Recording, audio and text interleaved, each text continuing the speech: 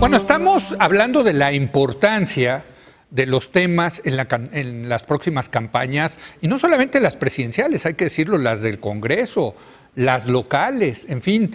eh, yo creo que no puede haber campañas, Javier, esa es la conclusión que estamos llegando, pues nada más con jingles. A mí me parece que la trivialización máxima de la política mexicana ha sido que el, spot más popular, más famoso, que tuvo más impacto, haya sido el de un niño cantando con un ukulele, movimiento naranja, na, na, na, na, na, na. No dice nada. Buenísimo el jingle, buenísimo.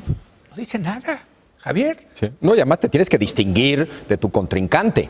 Este, y, y- y si todos dicen voy a acabar con la corrupción, pues todos son los no se distinguen, ¿no? Pero hay va otra razón por la cual los cómo se vuelven importantes en, en la coyuntura, que no es solamente de México, yo diría que es de Occidente en general, que es la información falsa. El famoso fake news. Ante una realidad donde constantemente sale, bueno, y Mid dijo esto, y Anaya hizo Sí. esto, y López Obrador no hay que olvidar que aquello. Bueno, ante la falta de, de este, ante la información falsa, genuinamente falsa, pues la manera de combatirla, en parte, es salir a decir no. Lo que yo dije fue esto, y lo que yo propongo es esto. Por cierto, Entonces, muy bueno el libro de Esteban Illades. Ah, muy bueno, eh, sí. Director de la, de la revista Nexos Digital. Eh, sobre fake news. Fake news. ¿no? O sea, y, y, por cierto, la relación de fake news con los medios tradicionales en México, ¿eh? Sí. Porque también hay mucho fake news en los medios nacionales. ¿Cómo? No, No, no de verdad. cierto. Sí, Eso no se habían dado no cuenta. es cierto, no es se cierto. habían dado cuenta. eso puede ser cierto unas 10 o 15 veces al día, pero nada más. No más, no, eso es fake news. Eso es fake no es cierto. Estás, estás haciendo fake news sobre, Sí. sobre el fake news. Javier. No, bueno, este, si quieren ya entramos al tema de la educación. ¿Quieren Este, entrar al tema de la educación? Bueno, eh, sé López quién- Obrador ha dicho claramente que cancelaría la reforma educativa y esto le ha generado una serie de críticas de funcionarios del gobierno federal, pero también de organismos como el INEE, eh, Mexicanos Primero, eh, la CENTE, eh, el sindicato más que la CENTE, el Sindicato Nacional de Trabajadores de la Educación, entre otros. Sin embargo, la semana pasada ya matizó de alguna manera su postura y prometió dar marcha atrás a la reforma educativa, enviando al Congreso un nuevo proyecto de ley del servicio profesional docente que, tal como la Constitución establece, respete y garantice los derechos laborales y gremiales las plazas del base del magisterio, dé certidumbre en el empleo y reconozca la carrera sindical como atributo de la gestión y del desarrollo del sistema educativo. Esto no gustó nada a la CENTE, a la coordinadora, que pide de plano derogar dicha reforma. Por su parte, José Antonio Mid dijo que si en materia educativa logramos ser exitosos, no habrá nada que detenga a México para ser una potencia. Muy bonita declaración.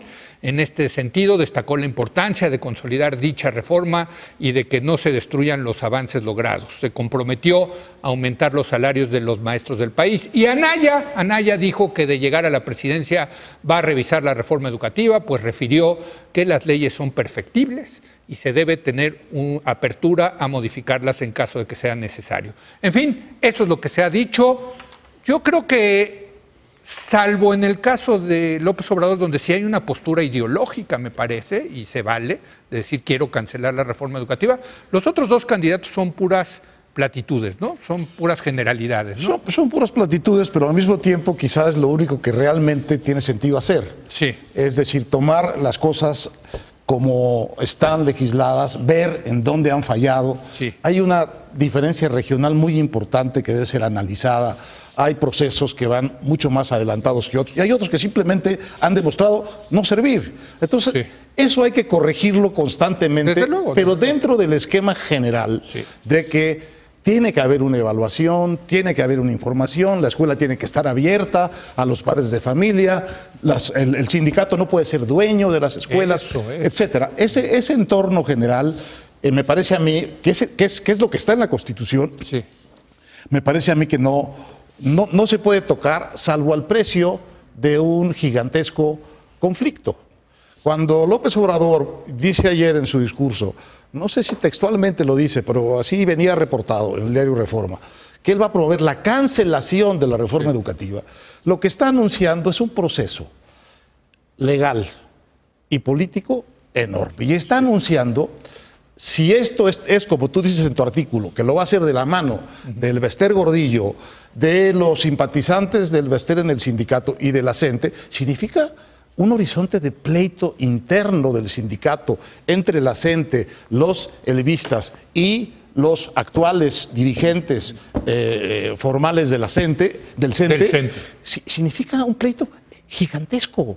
Una, significa introducir una división y un jaloneo en el, eh, en el sindicato más importante y más grande de México, porque ya parece que porque solo, digamos, una parte diga que la va a cancelar, las otras partes van a estar de acuerdo con eso. Lo que se está anunciando allí, eh, más que una, una cancelación de una reforma, es el inicio de un enorme pleito Con dos, político, con, con dos legal, grupos sindical. que este gobierno, la verdad hay que decirlo, debilitó muchísimo, que fue la CENTE y el Bester Gordillo, que también está muy debilitado. O sea, Bueno. ya estaban debilitados ellos dos. La verdad es que Yo no sé, yo no sé quién, quién pueda tener alguna convicción favorable a las convicciones de la CENTE, de la CENTE en materia educativa. Digo, el espectáculo pues ahora, que nos han dado es suficiente. ahora el Bester Gordillo. No, O sea, imagínate lo que cosas veredes. No hay una declaración de ella en ese sentido. Pero, no pero están juntos. O sea, lo increíble es la alianza ahí de la CENTE con el gordillismo apoyando a López Obrador. Yo creo que es muy elocuente eso, pero. La pri- las primeras dos patas de la alianza las tengo un poco menos claras ¿Qué? que la segunda. La de la coordinadora con el Vester, esa me queda menos clara que la alianza del Vester y de la coordinadora, cada uno por su lado, Con- López Obrador. Pero, pues, en una de esos- ¿no? Bueno, coinciden sí, pero no necesariamente entre ellos están aliados. No me, no me consta, pues, pero bueno, puede, es muy factible. Sí. A ver, hay una, hay una declaración que vale como si fuese del Bester de su, de su yerno en Reforma diciendo Buenísima que- entrevista. que, eh, eh, eh, Andrés Manuel eh, y, y Y. Bester son un solo corazón, son Sí. líderes de la- del mismo corte. Bueno, eso vale como una declaración de eh, cercanía política. Exacto. No vale necesariamente como que el Bester se valiera a la CENTE para cancelar la reforma educativa. No, no, no, no sé qué piensas. Sí, es, pero, es- pero es fíjate, demasiado. Este, empezamos esta discusión sobre la educación hablando de su lado político. Sí. Este, y nosotros empezamos el programa hablando de la importancia de la sustancia. Yo creo que hay que distinguir primero el tema general de la educación de la reforma. Hay muchos temas que no están en la reforma y que son fundamentales para la educación. Educación 0 a 5. Por ejemplo, este, uno de los temas más importantes del cual se olvidó este gobierno, excepto hace, hace unas semanas eh, eh, introdujeron el tema. ¿Puedes explicar qué es la educación? Sí, de 0 a cinco? 5 es educación inicial. Eh, antes de la primaria. pues. antes, sí, del kinder, ¿no? Del kinder, kinder. ¿no? Eh, si algo ha sido recientemente estudiado y demostrado, Y ahí es donde- la enorme ventaja, utilidad, este, lo redituable que es invertir en ese periodo. Eh, peso que inviertas, peso que te reditúa, mucho más que en cualquier otra etapa de tu vida como estudiante, es decir, de 5 a 18, de 5 a 22, por muchas razones, etcétera, etcétera. ¿no? Ese tema ha sido totalmente olvidado este, hasta hace relativamente poco por la Porque SEP. estaban en el modelo, nuevo modelo educativo, del 5 a 18, digamos, ¿no? Bueno, ahorita también. ahorita- Que por cierto, pero- aplaudimos aquí muchísimo. Bueno, sea, yo, yo- ahí tengo mis dudas. Este, Yo- pero está Yo el tema sí en general. Luego está el tema de la reforma. Y luego al hablar de la reforma hay un lado técnico y hay un lado político. Y nos fuimos derechito a la reforma y derechito a hablar de- del tema político, que claro, pues es una campaña y claro que se vale y es lo más divertido. Y claramente hay una disputa por el voto de los maestros.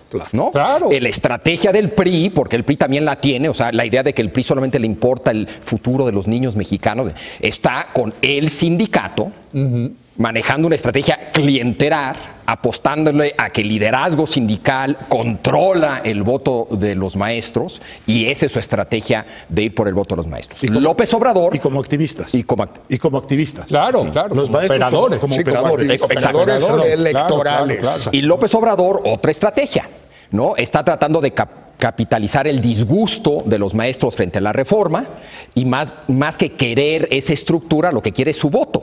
Aunque algo de esa estructura en ciertos estados también, eh, también le interesa y ahora con estos grupos que Pero han a ver, creado... si algo logró este gobierno, me parece, es recuperar el control de la educación por parte de las autoridades, que había sido este proceso que los expertos habían dicho que había sido una especie de conquista de, por parte del sindicato de las tomas de decisiones educativas. Y, y con la colaboración política del sindicato, porque hay una cosa cierta correcto, que dice correcto. López Obrador, Sí. no puedes hacer una reforma de este tamaño sin los maestros. Bueno, y lo ha hecho No el puede. gobierno, o sea, con Juan Díaz. Pero- Yo creo que quitaron al Bester Gordillo porque la lectura era que con el Bester Gordillo no se podía hacer la reforma. Ya había dado muestras para eso, quitaron al Bester Gordillo, la metieron a la cárcel y metieron a Juan Díaz. Bueno, pero a ver, volviendo a la sustancia, porque a mí Sí. me parece que también, decir, hay, hay los elementos de la reforma, que tiene una gran cantidad de elementos de reforma laboral o administrativa, más que educativa, quizás sean indispensables primeros pasos para que venga la reforma educativa, pero la- las- los primeros pasos fueron solo eso.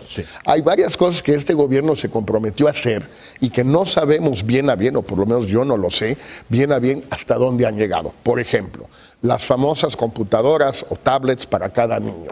Siempre sí o siempre no.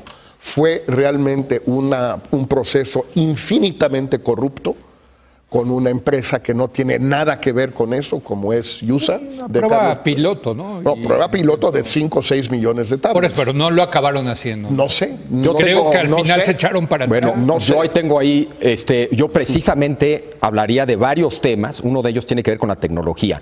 Si se acuerdan, cuando debatimos esto, yo estaba en contra. Sí, sí. Y estaba en contra no porque, por- porque De las tabletas. Sí, Sí. porque para mí todos los estudios señalaban que no era una buena idea.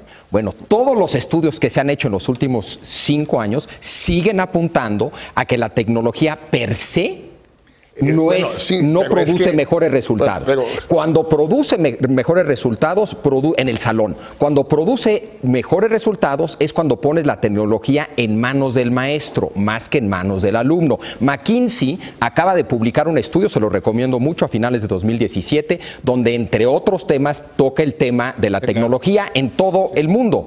Eh, yo nada más leí la parte de América Latina y precisamente utilizan el caso mexicano como todavía mayor evidencia de que esto de las tablets a cada niño Sí, no es una buena ver, idea. la- pero la discusión ahí va a ser o debe ser en esta sustancia de materia educativa si el error fue entregarle tablets a cada niño o el error fue solo entregarle tablets a cada niño con el software viejo del ILSE desde hace 30 años a través de una empresa mexicana que a lo que se dedica desde hace 50 años es al béisbol y a las máquinas de fusibles, Ahora- que no son precisamente... Pero tomo otro ejemplo, también una promesa del gobierno. No sé si la han cumplido o no, la jornada completa en primaria o prolongada. No, ¿Lo han hecho o no lo han No, hecho? ¿Qué tanto han hecho? No sé. Lo que, lo que yo, Pero, lo que yo bueno, recuerdo es que la, la evaluación que hicieron de lo de las tablets, cómo lo hicieron, eh, Exacto, porque eso es, que básico. coincide Sí. con lo que tú decías, Sí, no, que no, no. no, no tenía esos rendimientos. Así es. Y el tema de la jornada completa, pues es un tema prácticamente para que pueda ser viable, pues casi de duplicar el presupuesto. Porque ¿cuántas, cuántas escuelas de tiempo completo tenemos hoy? Pues yo creo que No, ni, ni- no ni- sé. ni- ni el 3%. Iban a ser la mitad. Pero a ver, déjenme, Quiere, tengo quiere que hacer decir, una quiere pausa. decir que vayan no sé. ocho horas los niños en lugar de las cuatro y media, cinco Pero, a ver, déjenme- 5.3. Bueno, es... es- es- 5.3 horas. Si no le Ahorita yo les dinero, digo de dónde saco estos datos. No, ¿no? no, duda. A ver, pero tenemos que hacer una pausa y yo quiero regresar, porque ideas puede haber muchas, pero creo que tenemos que empezar diciendo si esta reforma educativa de este gobierno es la adecuada o no. Y de ahí que se le pueden hacer. Porque hay un candidato que dice, no, No, esta bueno, reforma educativa cancelar. la voy a Yo- cancelar. Yo no estoy de acuerdo con esa lectura, Bueno, perdón. sí. A ver, ahorita entonces si quieres regresamos en un momento más.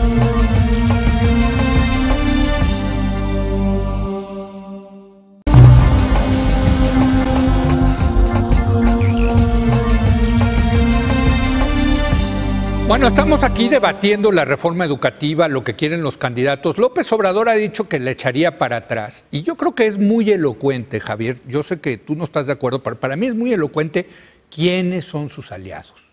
Sus aliados es, por un lado, la CENTE y por el otro lado, el Bester Gordillo, sus personeros y lo que, digamos, el sindicato, parte del sindicato, que no sé cuánto sea, si es mucho o poco, yo creo que poco, que sigue apoyando al Bester Gordillo.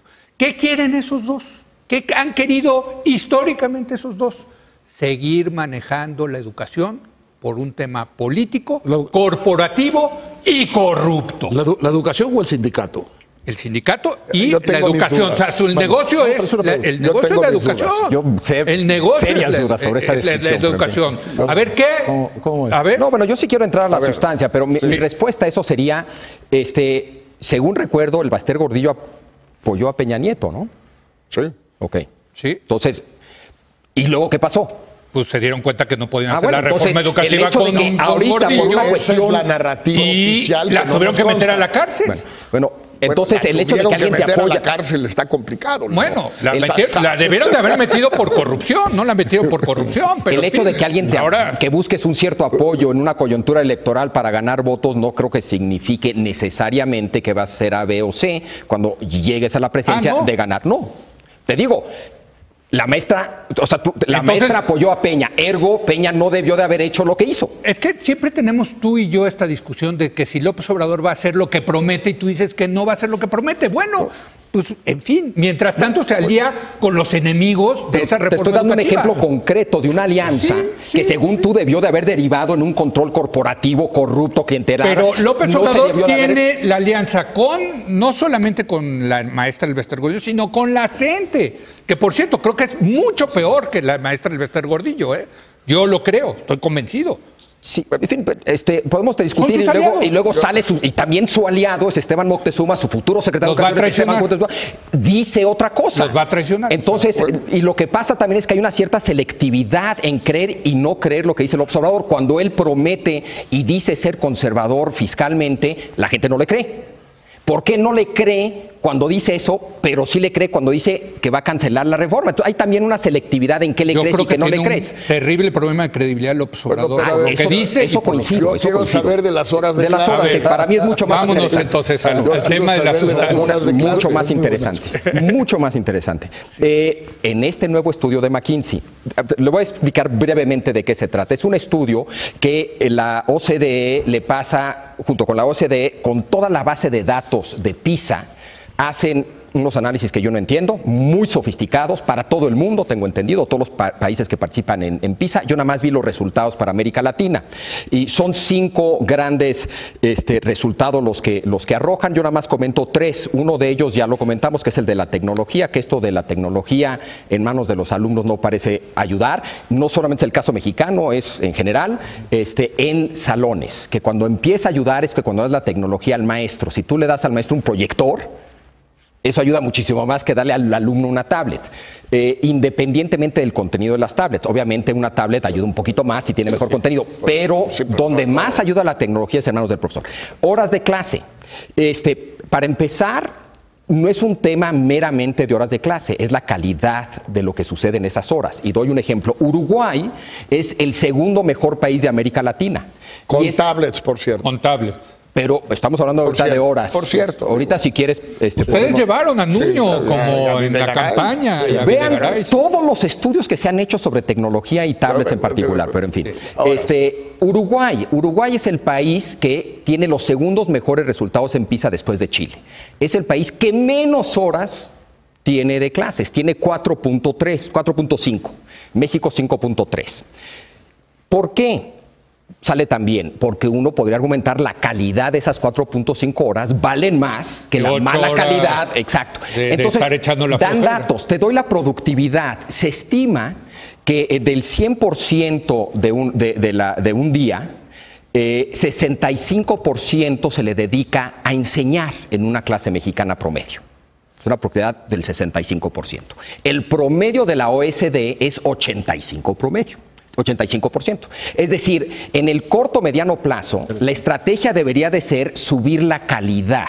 Ahora, quieres hacer las dos cosas, subir la calidad ¿Cuál- y incrementar las horas. ¿Cuál es el promedio de horas de la OCDE? Este, En es más alto. eh, en primaria. sí, pero Va a ser más altos. Pero, pero es curioso porque Finlandia, por ejemplo, tiene bajísimo este número de horas y le va muy bien en PISA. Este, entonces lo que quieres es calidad y número de horas. Igual puedes suplir un poco la baja calidad con más horas. Pero vamos a llegar a la conclusión entonces, que aparte llevamos ocho años en esta mesa y lo hemos debatido mucho, que lo que importa son los maestros.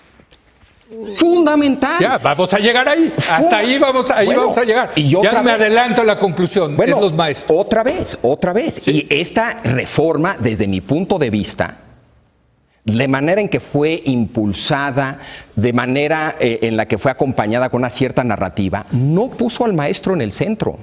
La evaluación no ayuda en. Puso la Es parte evaluación de la reforma. de la manera en que fue presentada, No, pero de manera punitiva, y por eso mi Pero lectura... punitiva, pues, a ver, es que ese, ese es exactamente el lenguaje de los opositores a la reforma educativa, que es una, una evaluación punitiva. No, no, no. Ver, Punitiva, no, no, no, ojalá no, no. fuera punitiva. Yo creo que le faltó ser punitiva. Bueno, tú hablaste de mexicanos primero. Perdóname. Hablaste de mexicanos primero y voy a mencionar el rango completo de los expertos. No castigan a los maestros malos, la reforma. Bueno, pregúntale a los expertos, Leo, y todos. Aquí los hemos tenido. to- bueno, Mexicanos Primero acaba, acaba de sacar, este, bueno, David Calderón, un editorial, primero diciendo que bueno que López Obrador calificó lo que quiso decir con cancelar la reforma, no sé si usó esa palabra, y a lo que se refiere es a un elemento de una ley que tiene que ver con una de las muchas evaluaciones, que es la evaluación de permanencia. Ya estamos en la interpretación La de permanencia. No, no, no, no, no, no, quiso esto decirlo. no es- Pues es el no, pues es Leo. el detalle, Leo. Es La, la- Otra la- vez. eh, la sustancia Eso es cancelar la reforma La educativa. sustancia Claro que Cambiar la ley de la, la ley de Es, funda- es lo que cancelar. Más tiene enojado a todos los maestros y lo está haciendo, vamos a suponer, por las peores y más cínicas razones de que quiere su voto. Eh, porque es lo que más enoja a los maestros. que los evalúen. no que los evalúen, que- Entonces, que, que que su permanencia por- dependa de evaluaciones continuas. La evaluación que más importa desde mi punto de vista, desde el punto de vista de los expertos, Porque están acostumbrados al corporativismo mexicano donde no los corrían nunca. Acá, si nos evalúan y ver, resulta yo- que ya no traemos audiencia, etcétera, pues nos vamos, hombre, se acabó. Todos los que nos están viendo tienen sus trabajos y los evalúan constantemente y, y- y sus resultados, y depende su estadía en su trabajo de sus resultados. Lo que los maestros no quieren es eso. No, Terrible. No es cierto, terrible. Leo, no es cierto. Ah, ¿no? Y el primero en decir eso son los propios maestros que se han presentado a las evaluaciones. Eh, primero hay que distinguir entre distintas evaluaciones. Sí. ¿Sí? No solamente en, en cuanto a qué evalúan, cómo evalúan, dónde evalúan, sino en qué momento evalúan. La evaluación más importante es para entrar. Sí, y ahora están entrando por exámenes de oposición. Sí. Qué ¿Es eso positivo o no? Sí. Naturalmente. Bueno, ¿eso significa que cualquier evaluación en cualquier momento hecha de cualquier No, manera es claro buena? que no. Bueno, Claro que no. entonces la crítica... Es una evaluación meritocrática, no punitiva. Perdónenme. Utilizar punitiva Pues no- es, sí, es Sí, el yo, mal. creo, yo creo que no hay que. Sí, creo- Bueno, creo que no Yo estoy usando las palabras que utilizan los expertos. No hay que pasarse en las, en las, en las palabras, porque entonces la, la cosa cambia mucho. Aquí yo creo que lo, lo interesante de esta reforma, eh, lo repito, es que abrió la escuela Claro. a la inspección de la sociedad, de los padres de familia y de las propias autoridades educativas. Porque la, escue- la escuela estaba totalmente capturada, lo mismo que la Secretaría, Sí. por los intereses sindicales. No había un criterio pedagógico que rigiera la conducta de los maestros con posiciones de autoridad en el sistema educativo. Era un criterio sindical. Sí. Esa es, como dice Jorge muy bien, en eso consiste hasta ahora la reforma, en haber abierto el espacio para que se puedan introducir nuevos contenidos. Es un buen paso. En los primeros, en las primeras evaluaciones de la, de la otra parte, tanto de la parte, digamos, laboral y administrativa como de la parte educativa, aparecen muchas fallas. Por ejemplo, aparece una falla muy importante de que la evaluación continua de los alumnos no es necesariamente un estímulo para que los alumnos mejoren, sino que en este sistema es un estímulo para que los maestros le hagan a los alumnos la fac- la- el favor de darles Las, las los contenidos. estándares. Y, y fue así como en Chiapas pasaron Sí. de, de una calificación 3 en matemáticas en dos años a Pero eso 7. ya es. El maestro Barco. no, no, no, no, no es, de, no es de matiz eso. No. Eso- no, la No, e- no, claro la que no es de matiz, ver, este cambio, pero sobre una- Sí. que es una enfermedad conocida en todos los sistemas educativos del mundo, la evaluacionitis existe, es una enfermedad que existe y que en muchos países se ha ido viendo cómo hay el maestro Barco, en efecto, Sí, que cómplice, promueve, promoverse él. promueve la, la evaluación de los alumnos para que él quede bien. Oye, pero venimos de un país de no evaluacionitis. De acuerdo. No, aquí no se evaluaba Sí, nada. no, de no todo quiere decir que todo era evaluación y que toda evaluación está No, bien. no, no. Hubo mucho ma- mucha más evaluación con eh, connotaciones punitivas, porque tampoco se materializó tanto, que evaluación con connotaciones meritocráticas o Sí. eh, de apoyo. Es decir, era. Creo que no han corrido a nadie por evaluación. por eso, es que no, no, nadie. era, no vayan tres veces, Leo, para empezar, empezar, a ver. Y no lo corren, lo ¿quién- mandan a una área ver, administrativa. ¿Sabes al que, el que- al, al que más importó que no hayan corrido?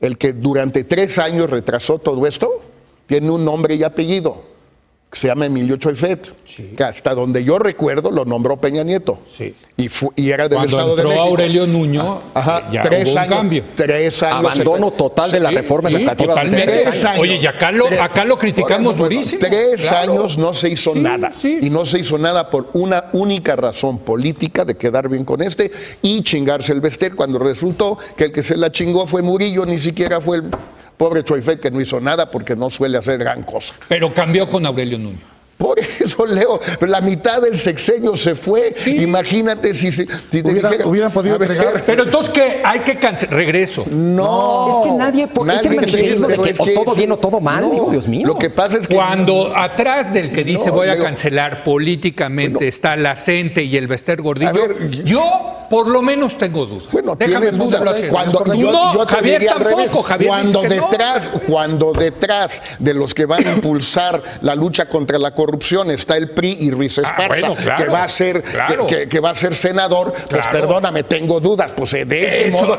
completamente de acuerdo contigo. Dime con quién eres eso, y te voy a decir más o menos qué vas a hacer. Por eso quiero ver qué plantea cada uno de ellos. 100% de Yo creo que el primer problema es que la reforma educativa que se hizo, que además fue de tres años de sexenio, no de sexenio entero, fue administrativa, laboral, indispensable, pero no suficiente, dejó, dejó fuera una enorme cantidad de cosas. La discusión con los candidatos ahorita, yo creo que debe ser no solo qué corregir o mejorar, Sí. sino qué faltó. Pero a partir de A que ver. ya se hizo la reforma educativa. Pero en vamos- algunos pero aspectos, yo te otra- otra Es que manera. tú Ya hay una la- base. ver, La reforma educativa a mí me base. parece una afirmación muy grande. Pongámoslo, pongámoslo en, en- en detalles para entrar a la sustancia como estamos queriendo.